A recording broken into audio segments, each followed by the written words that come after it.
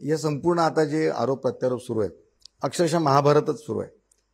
शरद पवार आरोप करतायत उद्धव ठाकरे आरोप करतायत काँग्रेसचे आरोप तुमच्यावर होत आहेत काँग्रेसने एक कॅम्पेन चालवली की आमच्या महागाईचा हिशोब तुम्ही का देत नाही? महागाई हा मुद्दा काँग्रेस वारंवार उचलते खूप वर्षांपासून घेते.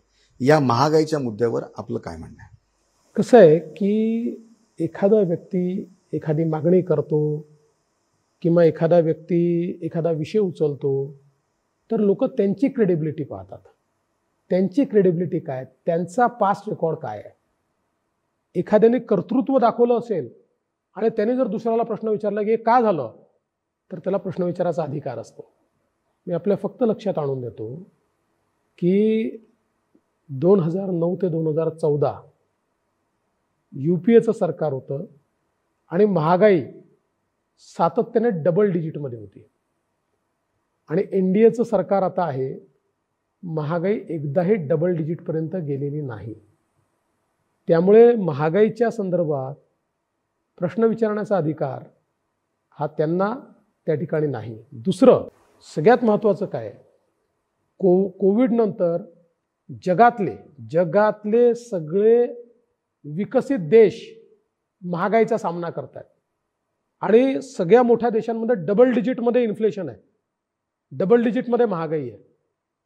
कोविडनंतरही प्रधानमंत्री मोदयांच्या नीतीमुळे भारत एकमेव असा देश आहे की ज्या देशामध्ये महागाई डबल डिजिटपर्यंत पोचू शकलेली नाही. हे कसं शक्य झालं? मला असं वाटतं की मोदीजींनी जी काही एक फिस्कल पॉलिसी आणली जो फिस्कल स्टिम्युलस दिला आणि योग्य वेळी योग्य लोकांना मदत. म्हणजे आज आपण जर विचार केला तर देशातल्या ऐंशी कोटी लोकांना मोफत रेशन देण्याचं काम मोदीजी करतात. आणि त्याचवेळी देशामध्ये सर्वात जास्त एम्प्लॉयमेंट जनरेट करणाऱ्या ज्या एम एस एम ई आहेत या एम एस एम ईला योग्य वेळी क्रेडिट दिल्यामुळे त्या एम एस एम ई जिवंत राहिल्या. त्यांना वेगवेगळ्या प्रकारचे जे फायदे मिळाले कोविडनंतर सर्वात जास्त जगात एम एस एम ई बंद पडल्या त्यांच्यावर इफेक्ट झाला. भारतात तो झाला नाही. आणि त्यामुळे आपण आपली सगळी पत राखू शकलो आणि आपली महागाई देखील कंट्रोलमध्ये ठेवू शकलो.